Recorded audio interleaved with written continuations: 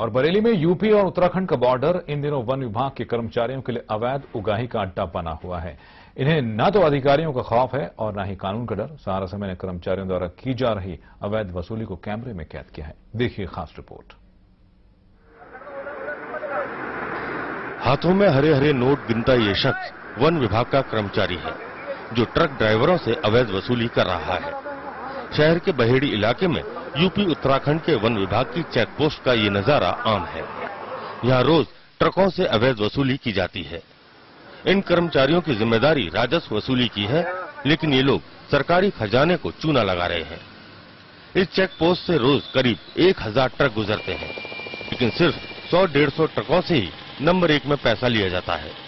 बाकी का इन कर्मचारियों की जेब में जाता है। बॉर्डर से करीब आठ नौ सौ गाड़ी डेली निकलती हैं, जिसमें से सौ, डेढ़ सौ, दो सौ गाड़ी नंबर एक में निकलती हैं, जो वन विभाग का पूरा टैक्स देती हैं। और बकाया जो छह, सात सौ गाड़ी और रह जाती हैं, वो साढ़े छह सौ रुपये पर गाड़ी के हिसाब से देती है। साढ़े छह सौ रुपये से अगर गाड़ी छह छह, सात सौ गाड़ी निकलेंगी तो आप उसका रुपए कैलकुलेट कर लीजिए, कितना रुपए सरकार का चोरी करते हैं। ट्रकों से अवैध वसूली किस तरह की जाती है, ये भी आप सुनिए। दो रजिस्टर होते हैं उनपे जिस गाड़ी से वो साढ़े छह सौ रुपये लेते हैं उस गाड़ी का दूसरे रजिस्टर में नंबर लिखते हैं और जिसकी रसीद काटते हैं उसका दूसरे रजिस्टर में नंबर लिखते हैं।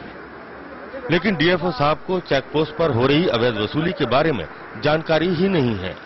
और जब सहारा समय ने उनके सामने मामला उठाया तो उन्होंने जाँच की बात कहकर पल्ला झाड़ लिया।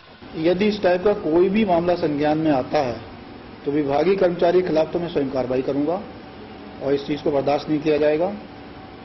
और इसीलिए उनको कैमरे में कैमरे की व्यवस्था भी इसलिए की गई है कि उस पर्टिकुलर आदमी सामने आ सकेगा यदि इसके द्वारा इस प्रकार का कोई कृत्य किया जाता है।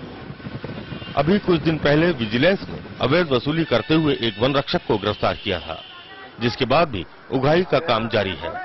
कर्मचारियों को कोई डर नहीं है। शायद वो ये पैसा ऊपर तक भी पहुंचाते होंगे। Akhilesh Kumar, Sahara news bureau, Bareilly.